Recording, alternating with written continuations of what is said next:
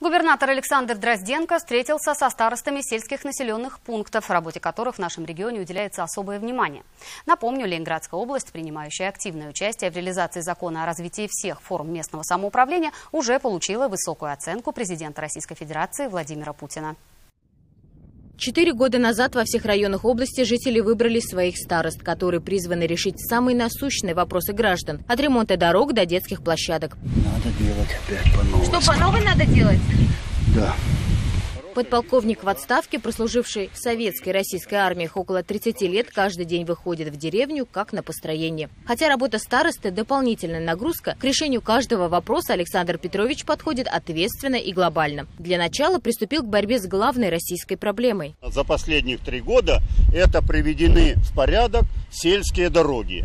Из 2000 метров сельских улиц и дорог мы отремонтировали 1642 метра.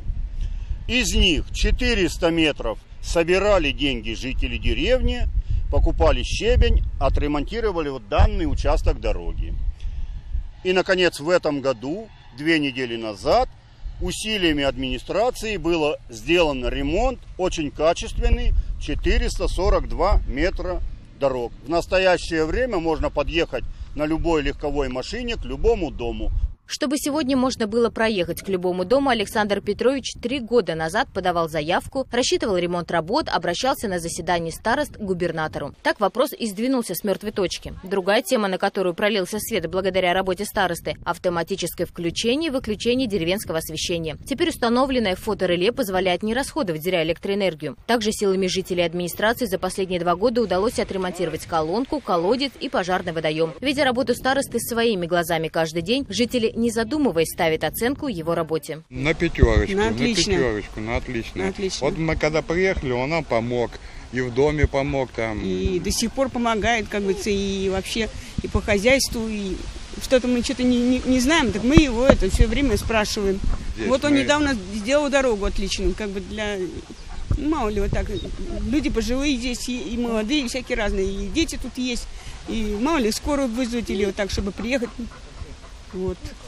И вообще помогает. Таких неравнодушных людей в Кингисеппском районе более сотни человек. Все они на добровольных началах взяли шество над тем или иным населенным пунктом. Просто потому, что кто-то же должен это делать, а кто, если не они? Важность их работы на местах высоко ценит на всех уровнях власти. Здесь взаимодействие депутата местного, старосты, соответственно, лучше будет отражаться все в политике э, советов депутатов населенных пунктов, распределение бюджетов и все прочее. Это информированность, это совместная работа. Это очень большая совместная работа старосты, депутата, совета депутатов и главы администрации в населенном пункте муниципального образования первого уровня. Вот это, наверное, главное.